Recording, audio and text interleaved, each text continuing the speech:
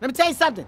Anybody comes in here looking for trouble, oh, well, they gonna meet my partners. I'm talking about Paw and Order. Ha! Uh-huh. Okay, well, you do know that your owner is just playing superhero, right? You're, you're just wearing some superhero pajamas. Ha! Tiny dog, you so naive. Point me in the direction of any animal who needs my help and stand back. what? Hell, Death Blow! What? I ain't...